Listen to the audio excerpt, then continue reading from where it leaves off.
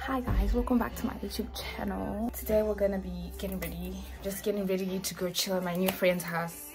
My my, my no. At my friend's new place. So it's like a housewarming thing. Everything is content and getty um you guys will have to suffer and get ready with me. I'm gonna be installing my wig and doing some light makeup. I had already straightened my hair and I did a video on how I prepare my wigs before I install them. So I'm gonna put the link here. This is actually quite cool. You know, I used to watch YouTubers doing that and I was like, one day I'm gonna do that. Okay, so this is the hair from Shein. This wig is not bad. Can you see the lace? It's not that terrible. You guys hear my, my music. I don't even know why it's playing Christmas songs. Okay, let me change my music and then we'll come back and talk about my life here in Poland. I've been in Poland for like three years, by the way. I must say, like when I came and now, the difference, like it's so different and things were like less expensive, less foreigners, if I must say. I came to Poland to study nursing. It's going well, I don't wanna lie. I study in English and not in Polish.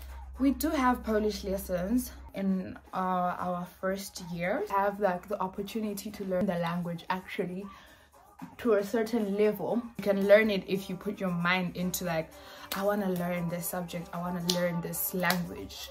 How is the program, the nursing program? I would say it's a very good program. We get like really good professors. Everything is very professional and there's just one or two lectures that know English, but like sometimes it's shaky.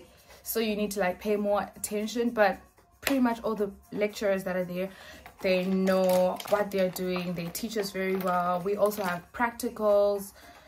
So whilst we're learning the theoretical part, we go practice in the hospitals and stuff. We get that opportunity. So I think nursing is a good program to study in Poland. As for the other programs that are offered by my school i wouldn't know much so i can't really say much on that subject but there are a lot more programs that the school offers in english like international business and economics tourism and hospitality physiotherapy the options are plenty so when it comes to options you're like guaranteed that you can find something of your interest. Expenses. When it comes to expenses, things have changed. Groceries would cost me something like 100 US dollars. Let me say it in Polish money and then I can like probably um, convert it. So I would I wouldn't spend much if I'm being honest on groceries. I would spend something like 300 zloty and by myself i'd get everything that i need like from veg meat red stuff your sausages your snacks dessert you get with like that 350 and it will last you for a good month when it comes to expenses like life was so good i don't wanna lie. I mean times have changed. There was the ukraine war and stuff so a lot of things might have affected the way life actually was here in poland. Housing. Housing wasn't expensive either. Rent was like 800 zloty 900 zloty 1000 just depending on like your comfort and your money the apartment i used to stay in if i still have pictures or like if you look at my old old videos you will see the apartment i used to stay in. It went for it started off at 700 bills were 100 so i would pay 800 every month. And we used to stay the two of us in the house so that is like a really like it was a two bedroom that's like a really good deal. You can't find anything like that these days. Like if somebody says they're staying in an 800 zloty apartment you're like where are you staying? How many of you? Because another thing is you you know like you can be staying with five people in 800 um the, i don't even think that's possible today. So i was staying in an apartment for 800 every month and that is good. Now i'm staying did i give you the comparison of the grocery yeah i didn't. I thought i did. So grocery would be like about 300 back then. And now trust you can spend about double on your groceries. Like can you see the jump? Like double for everything. And sometimes you won't even get all your favorite stuff you know? If you want to get your favorite stuff you need to go a little over you know your budget and stuff. Like okay i'm talking about my budget. Like don't come at me at the comments. I'm just saying like now you know you you'd get everything that you need. You wouldn't even look at the price. But like now i get into the store and i'm checking the price like so this rice if right?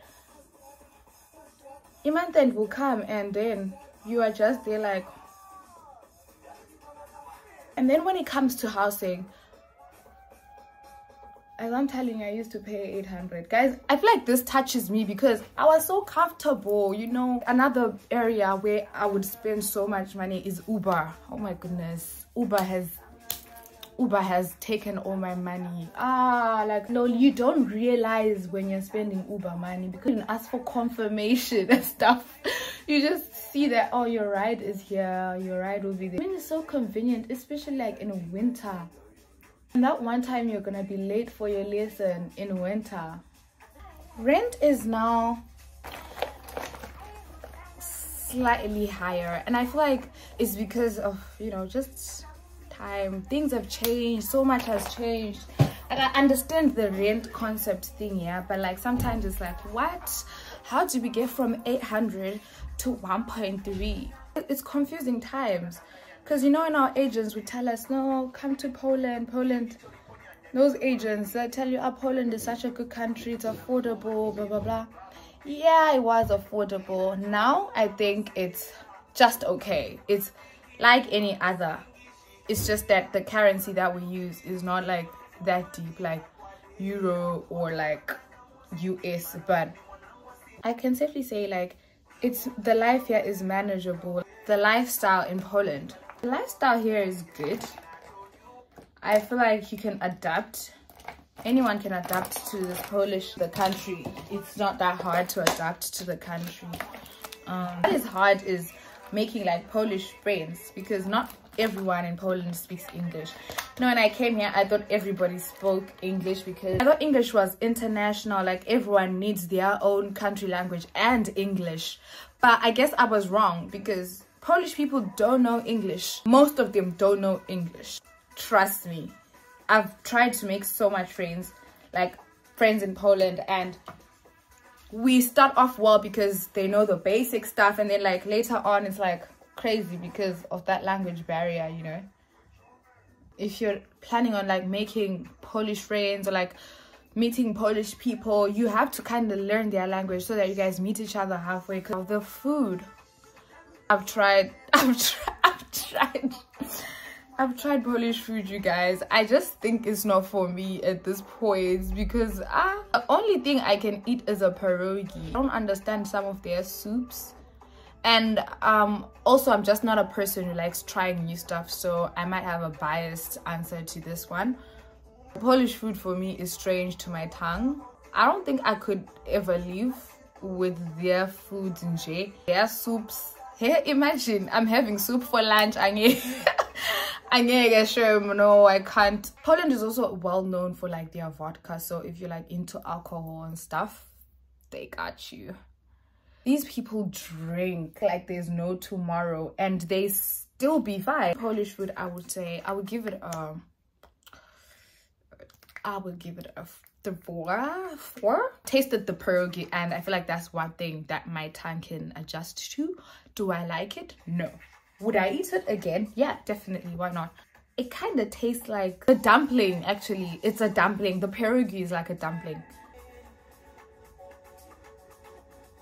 I'll just keep my thing brief. Poland is not a bad country, y'all. It's not terrible. Clothing. Polish people have style and I guess if you don't like like the style from the stores, you can always order online. Like, I wouldn't say Polish people dress bad. They do dress well. It's not like they've got like a cultural I don't know actually. I've never seen any Polish cultural clothing. So let me not like any type of fashion here, I guess. Whether you like street style, you want to look like old money aesthetic, you can get all that stuff here. Places do deliver in Poland as well. Like Shein, Soros, blah blah. Lifestyle. What else counts as lifestyle? sightseeing, sightseeing and vacation places. There's Zakopane. I feel like Zakopane is like one of the biggest um, places to go if you're like a tourist and stuff or you like traveling.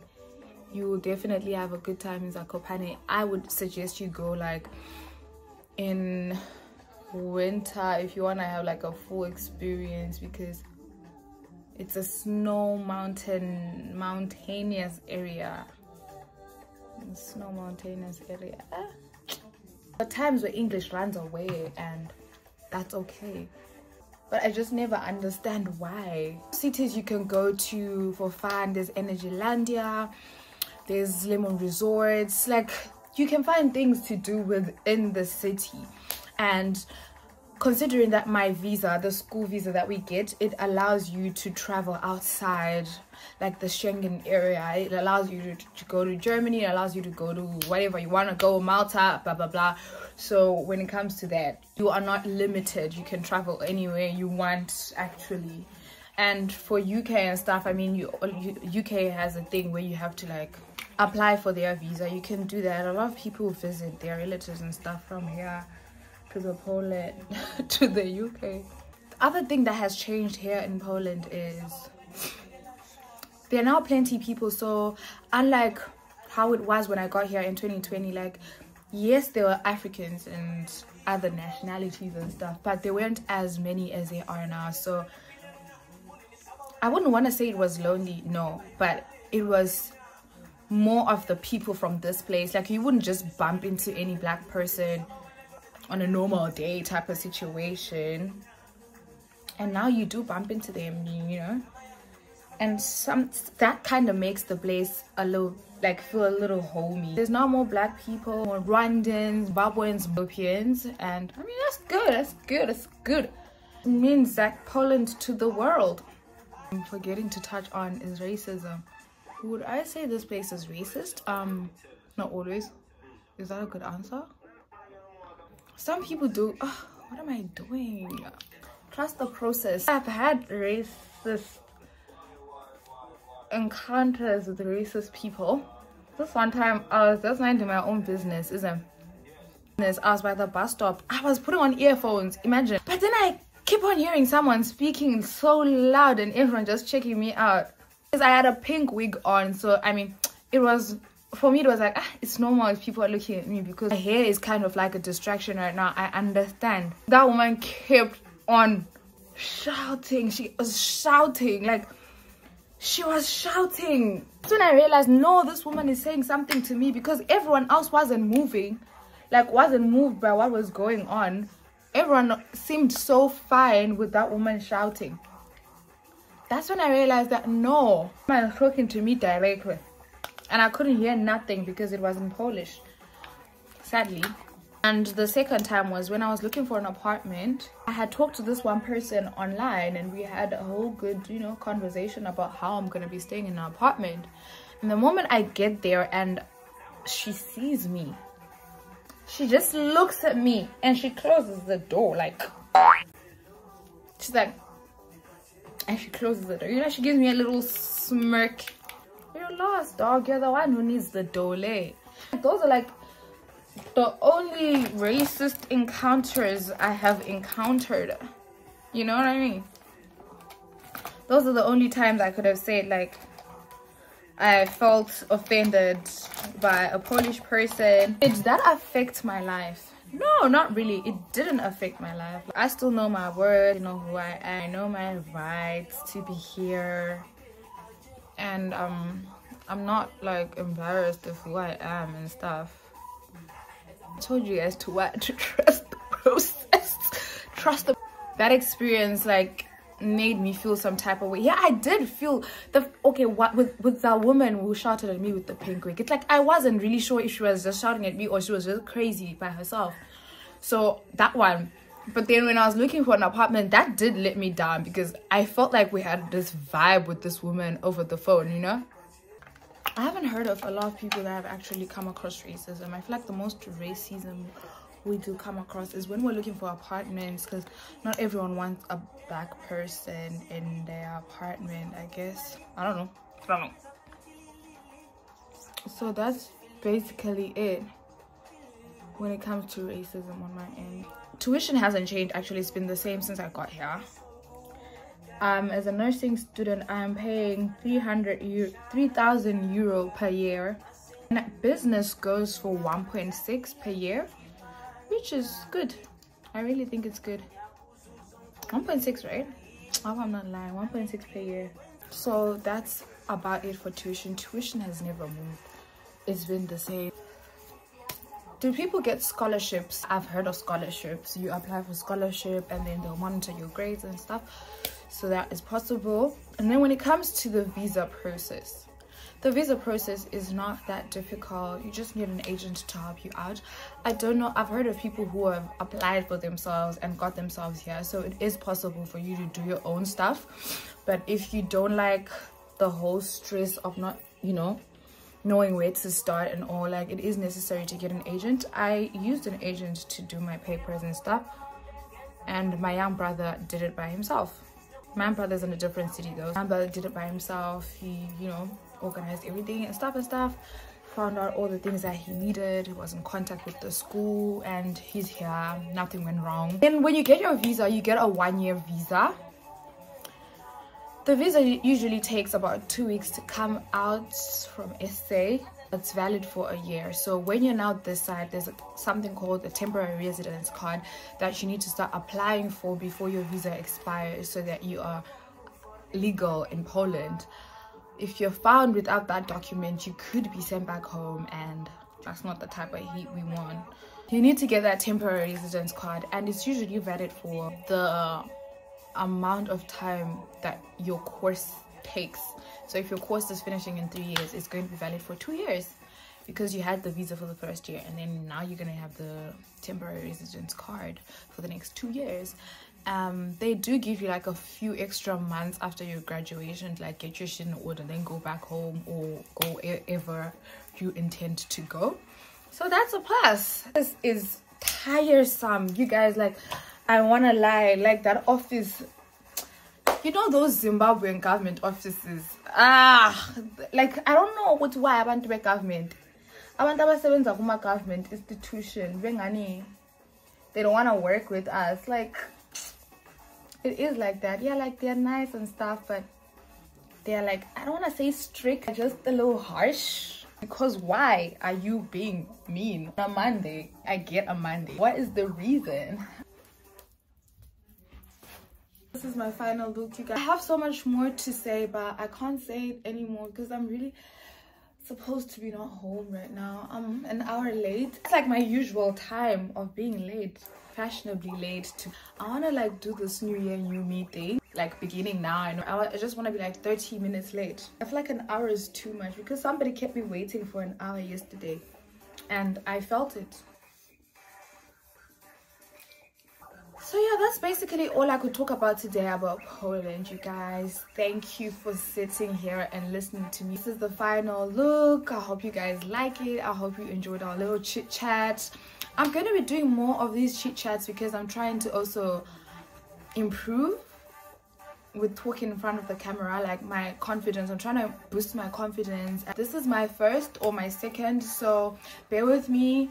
If you continue growing with me we're gonna be like good before you know it. You know what i mean? So don't forget to like comment subscribe share and try out doing your hair and your makeup because why not? Why not? Bye